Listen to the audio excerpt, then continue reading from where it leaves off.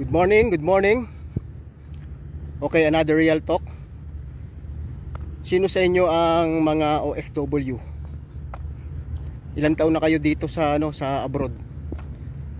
Saudi, US, Canada, Australia o kahit sang uh, bansa. Ilang taon na kayo diyan na nagtatrabaho? Uh, ilang beses na kayong nakauwi sa Pilipinas para magbakasyon? At ang uh, napaka-importanting tanong, kung kayo ay matagal na nagtatrabaho bilang isang OFW, kumusta naman yung relasyon nyo sa pamilya nyo? Uh, marami na ba kayong ipon? Ayan, yan yung ano eh, yun yung mahiwagang tanong eh. Marami na ba kayong ipon? Kasi uh, karamihan sa ating mga kababayan, yung mga pamilya natin ha, sa Pilipinas, kapag nabalitaan na, uy, yung asawa mo pala isang OFW siguro marami ka ng ipon no? Masarap ang ano dun eh masarap ang mga pagkain dun. At saka ano at saka malaki ang kita. Di ba kara kalimitan na na tanong lagi pag uh, alam nila na OFW ka or yung uh, asawa mo ay dami niyo naman pera. Baka naman pwedeng uh, pahiram. Ayan pero hindi nila alam yung realidad dito mga buddy ah, sa ano sa sa ibang bansa. Akala nila pinupurot lang natin yung pera. Akala nila basta na lang natin na uh, kinukuha sa tabi-tabi. Hindi. Pinaghihirapan natin, pinagpupuyatan, pinagpapaguran din. Wala namang trabaho na madali, lalong-lalo na dito sa ibang bansa. Lalo-lalo na kapag malayo ka sa pamilya. So, yung tanong ko kanina, meron na ka bang uh, naipon na?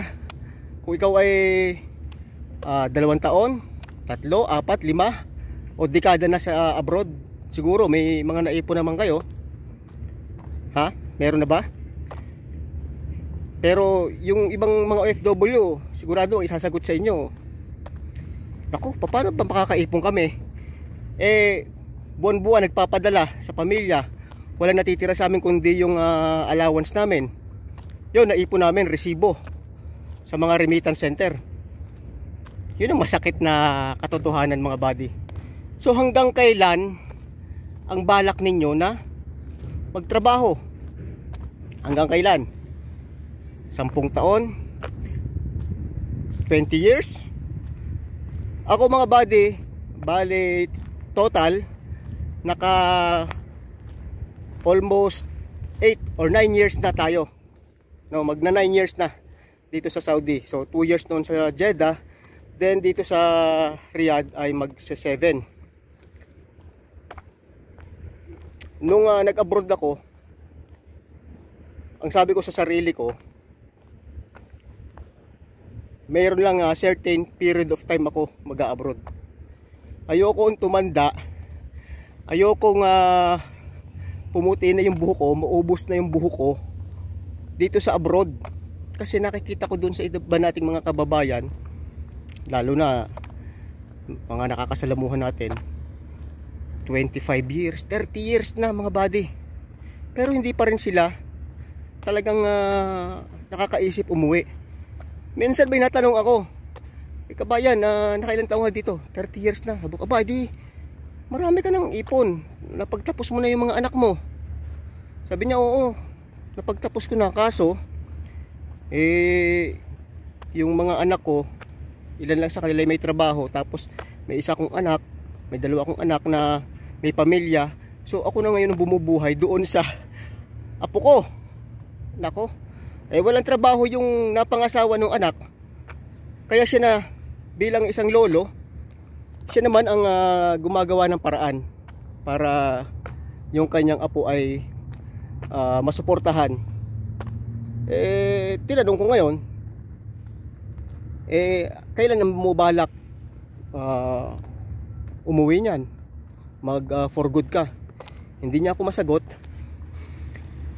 So nakikita natin na ano na dahil sa matinding pangangailangan hindi pa rin magawang umuwi ng ilan nating mga kababayan.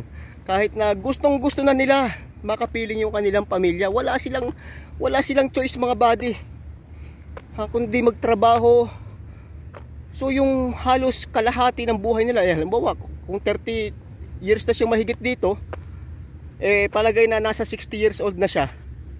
So ha- halos kalahati ng buhay niya mga buddy, ginugulan niya dito sa pagtatrabaho, sa pagsuporta sa kanyang pamilya. Ang daming oras na nawala, ano? Yun ang ayaw kong mangyari. Sa bagay, iba't iba tayo ng pananaw ha. Ito sa akin, ito yung aking pananaw sa buhay. Yun ang ayaw kong mangyari sa akin na lumalaki yung mga anak ko nang hindi na nila ako nakikilala, nang hindi nila ako nakakasama, nang hindi nila ako nakakabanding. Lumalaki yung anak ko, malayo ang loob nila sa kanilang ama. Pero sa, sa ano ko naman, sa kalagayan ko naman, uh, kahit na nandito tayo sa abroad, araw-araw nakakausap ko naman yung mga anak ko at syempre uh, pinapayuhan din sila, ginagabayan sila, kinakausap sila ng uh, seryosohan kapag may kasalanan sila, ganito, ganito. Pero iba pa rin syempre yung ano, yung uh, personal mo na nakakasalamuhan, nakakausap yung mga bata. Kaya ang sabi ko noon, siguro mga 10 years lang na mag-a-abroad ako or hindi pa abuti noon. So ako ngayon ay 44 years old na mga buddy. At yung aking uh, uh, sinabi noon sa akin sarili hindi ko paabutin na ako'y mag 50 years old o mag 45 years old bago ako umuwi sa Pilipinas. So kailangan uh, paghandaan natin din di ba? Yung pag-uwi natin hindi naman basta na naisipan natin na umuwi tapos wala tayong ipon. Kaya nga tinatanong ko, tinatanong ko sa inyo kanina eh, kung may ipon na kayo. At kung meron na kayong option, kung meron na kayong ibang oportunidad na naghihintay sa inyo sa Pilipinas, aba eh ano pang ginagawa nyo dito sa abroad? It's time naman siguro para makasama nyo yung uh, pamilya nyo, di ba? So yon, kung may option kayo, kung meron kayong pwedeng pagkakitaan, mag-asawa sa sa Pilipinas, eh bakit hindi nyo na lang palaguin ito?